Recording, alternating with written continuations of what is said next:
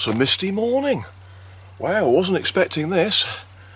I know the sun's up there somewhere, so hopefully it'll burn this lot off during the course of the day. Weather forecast is meant to be good today, so just keep my fingers crossed. Okay, well it's Saturday the 18th of September 2021. It's about 9.45 in the morning, and I'm doing quite a leisurely walk today. Um, but I'm just outside Hartington, and I'm going to make my way across country, and then I'm going to rejoin the valley of the River Dove a bit later on. So I'm going to continue following the River Dove upstream from where I left off last time. So, good stuff.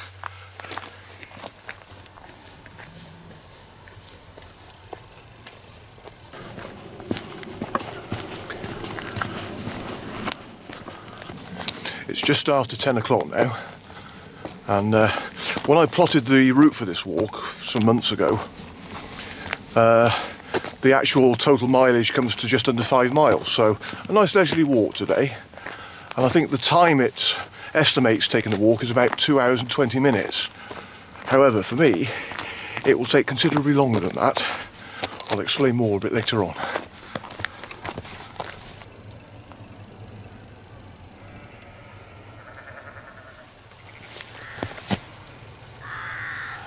That leads to Heathcote but I'm going to carry on down the main track as I'm going in the direction of Biggin.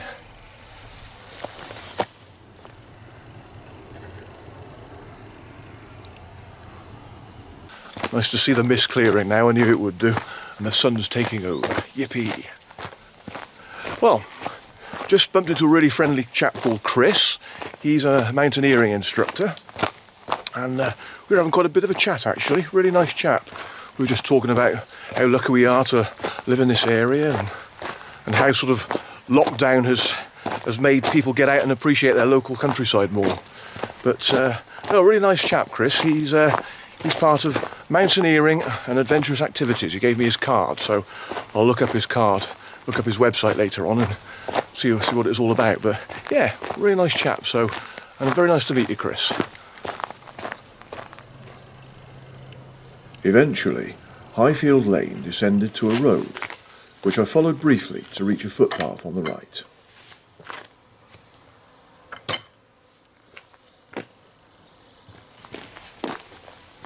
Well, it's 25 to 11 now. I'm just outside the village of Biggin, but I'm not going as far as Biggin today. But I am going to go down part, but not all, of Biggin Dale.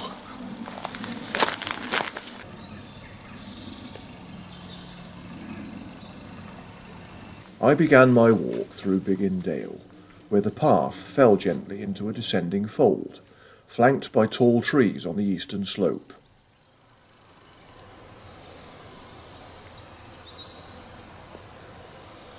It's 11 o'clock now. And as I said earlier, I'm only walking part of Biggin Dale, so this is as far as I go. If I was to carry on, that would take me down to Wolfscote Dale, but of course I did Wolfscote Dale on my last walk. So I'm going to cut up here and do a bit more of a varied walk before I rejoin the River Dove. Leaving Biggin Dale, I took the path climbing up off to the right in a northwesterly direction, soon going through a gate to a track, which I would be following for about half a mile, as far as Reynard's Lane.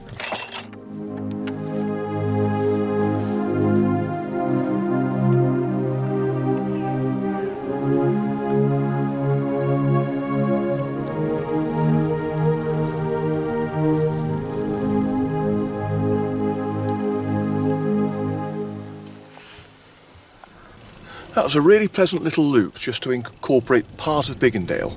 Enjoyed that. Well, it's just after half past 11 now. And you might be sitting there thinking, why does this guy keep telling us the time today? Well, there is a very good reason for that. It's really just to remind you, um, those of you that have been following my YouTube channel for some time now, and also just to let people know who are new to my channel, that because I'm filming this walk, it takes me that much longer to do. Now, as I said earlier, when I had plotted this route, the actual estimated time was two hours and 20 minutes. Well, I've already done nearly two hours now because I started the walk, you know, about sort of half nine, quarters to 10. And I'm not even halfway through the route now and it's taken me nearly two hours. And it's because I keep stopping to take shots. So normally it takes me, I don't know, six hours on average to, to film a walk in a day.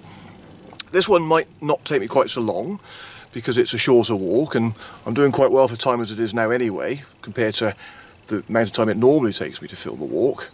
But it also, it's also because I do shots like this.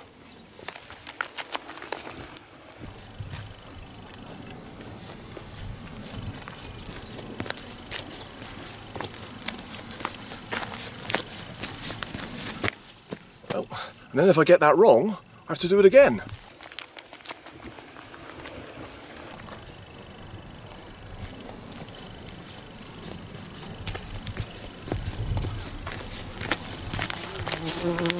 What takes the time, you see. And also there's other shots like this.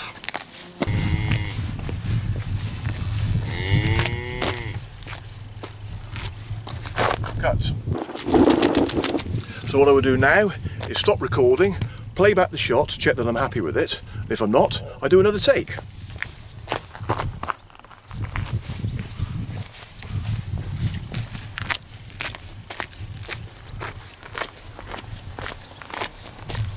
Cut. So hopefully that's the shot I can use in the final edit. but that's what takes the time to film, you see. And also, that's why I end up walking more miles than the actual walk. So, as I say, today's walk was calculated as just under five miles, but I'll be walking more than five miles by the time I've done these shots that I've just shown you here. Okay, right, let's get on to the River Dove. Now, hopefully this is the shot I will use in my final edit of my film.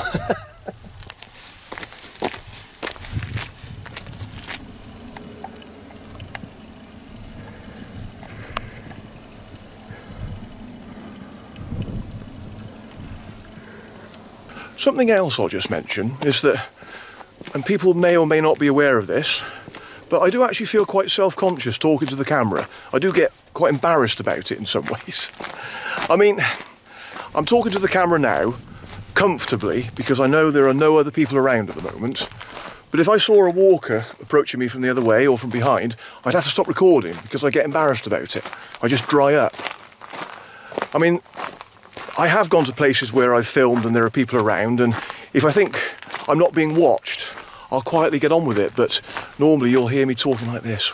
Well, I'm now walking along this road towards Wolfscote Dale, and that's because I'm very self-conscious about other people being nearby whilst I'm taking a shot.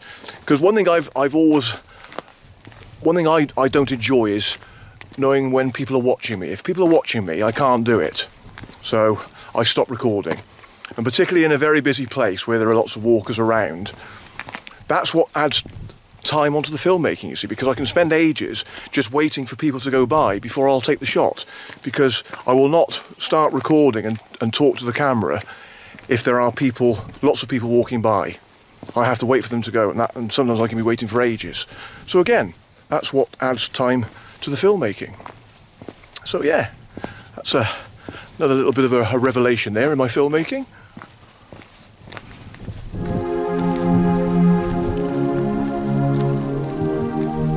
Lane curved to the left, where I turned off right to a footpath descending diagonally across a field.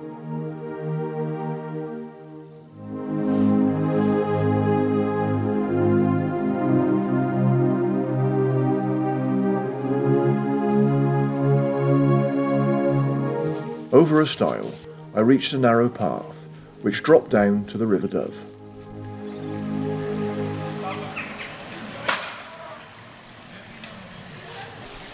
There's the River Dove. And it was just there, that was the point where I left the Dove on my last walk. So that's actually the start and end of Wolfscote Dale. But rather than going back down Wolfscote Dale today, I'm going to be continuing following the River Dove upstream. And I'm going to walk through Beresford Dale today.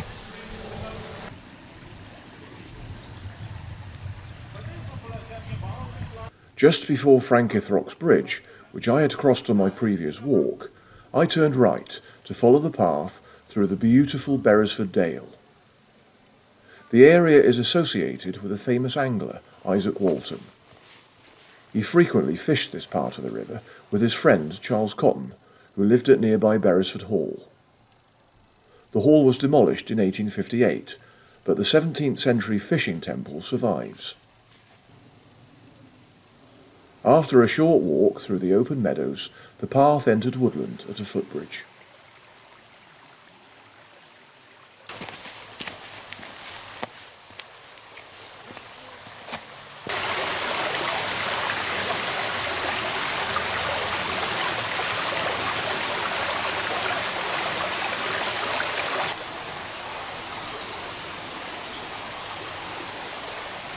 It's a quarter to one now, and I've crossed over to the Staffordshire side of the Dove. I think now I'm going to find myself somewhere to stop and have some lunch.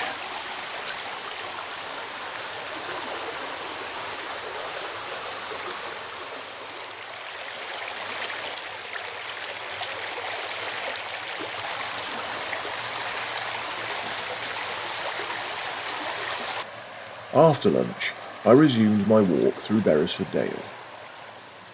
I passed Pike Pool, so called by Charles Cotton, after the spire of rock that towers above the river here.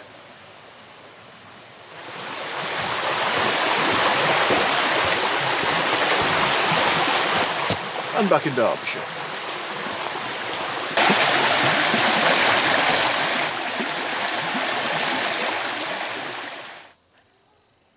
The path was now slowly beginning to veer away from the River Dove as I walked through the final section of the wood. Eventually, I went through a gate leading out into the open country again.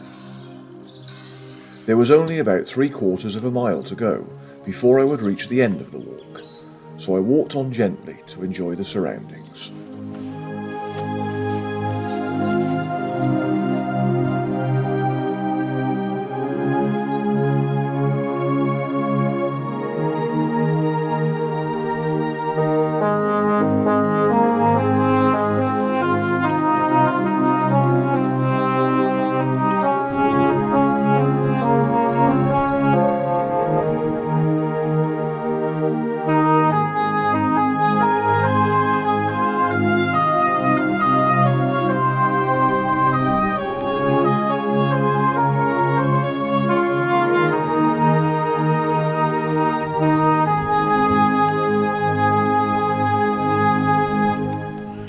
As I always like to say, absolutely wonderful. now I was talking on my recent Dovedale walk that that dale is my is one of two dales in the Peak District that I would consider a favourite dale. Now what I really ought to make clear here is I am talking about the collective Dovedale, so I am including Dovedale, Milldale, Wolfscote Dale and Beresford Dale. That whole stretch between the foot of Dovedale and Hartington.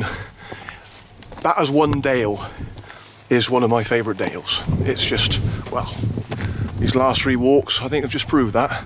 Just absolutely wonderful.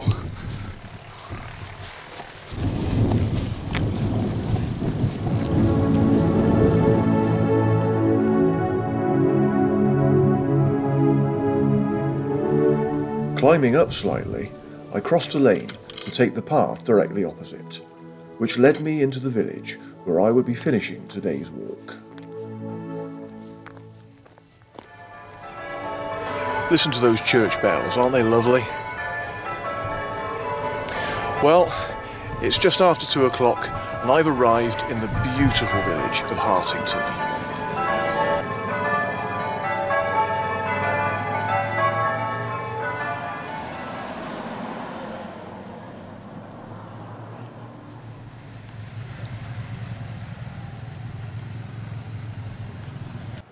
Scenery in and around this charming old limestone village is outstanding. An important village since the Middle Ages, Hartington was granted a market charter in 1203 and became a major centre for a large rural population from the many isolated farms in the surrounding area.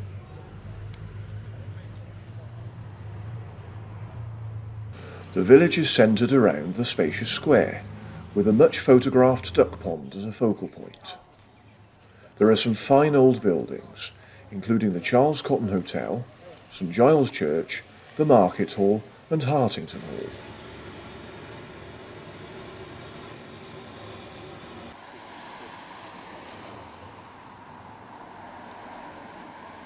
There is a good selection of gift shops, cafes and pubs, as well as a couple of local village stores.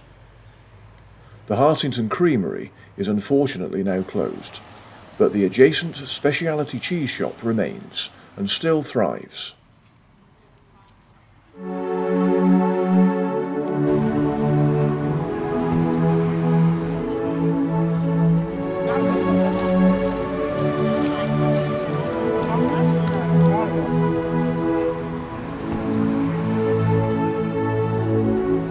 There was a wedding here.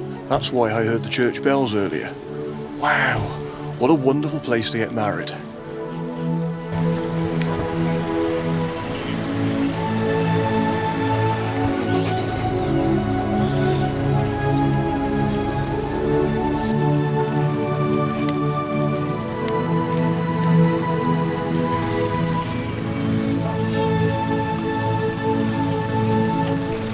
It's a lovely place, Hartington. It's not hard to see why it's very popular.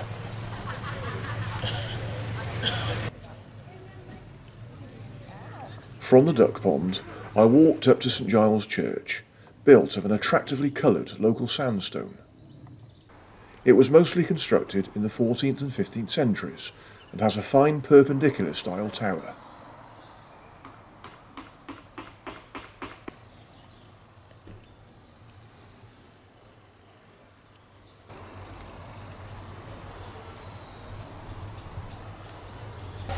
It's been really nice walking around Hartington.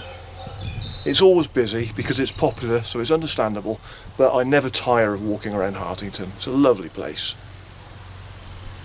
And for me, coming here and making this film of the walk today has been nice because I haven't done a walk around Hartington for quite a long time. So that's been nice.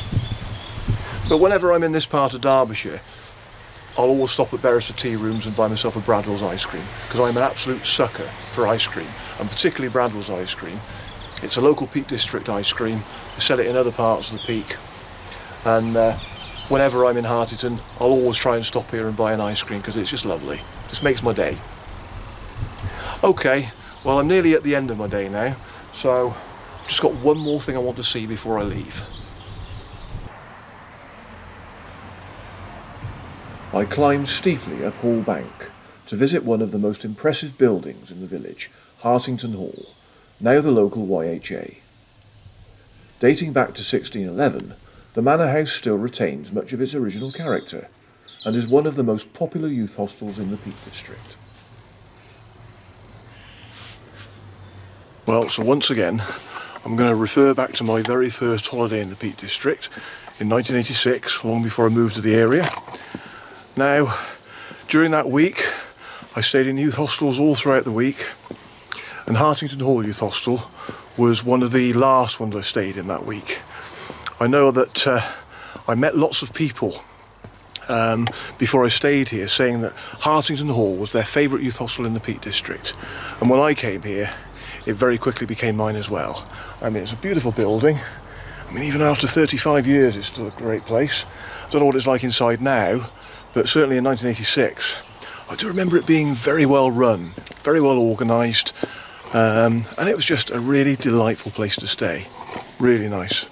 So, hopefully, it hasn't lost its charm today.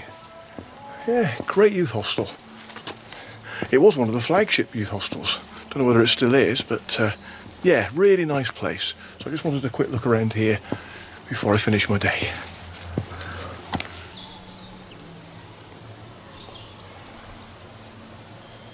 Well, it's 20 to 4, and I'm just taking my last shot now here in Hartington. Just my final shot. I think this is the fifth or sixth take of this particular shot because I've cocked up my lines and then somebody just walked up the drive, and it's not their fault, but as I said earlier, I can't carry on filming myself talking to a camera when there's somebody nearby, so I just froze and then I had to stop recording. hey ho, it was all good fun. So yeah, I started recording this film at half nine, quarter to ten this morning. Taking my last shot now, it's well 20 to 4. So again, it's taken me about six hours to film this walk. Average day. So gives you an idea of how long it takes me to film a walk. And when people actually say to me, how long do, does the walk take when you the one that you filmed? I say, well, I don't know because it takes me that much longer to film it. But what I will say is, like I said in my introductory video, if you read the description below the video, there's a link to the route map. So there's one for this one, uh, and that's the route I've plotted. And it's about five miles, or just under five miles. And I'm sure it said it took two hours 20 minutes. I don't know how that's calculated, but if you were just doing this walk without filming it, I'm guessing that's how long it would take. And finally, before I do go, I would like to give a shout out to Alan and Joe, two wonderful people I met about half an hour ago. I was actually up by the church. I was filming some shots there, and some people walked by, and two of them said, "We've been watching you recently." They said. so how lovely! It's it's it's always lovely to be recognised. And um, so yeah, nice to meet you, Alan and Joe. They've actually come from South Derbyshire, and they've moved. They're not far from Hartington. They live fairly close by, um, but uh, they say they love it here. They, they absolutely love it around here. They've only been here about four weeks, I think they said. But uh, yeah, so far they're enjoying the area, and I can't say I'll blame them. So really lovely to meet you, Alan and Joe, and I'm sure I'll bump into you again before long.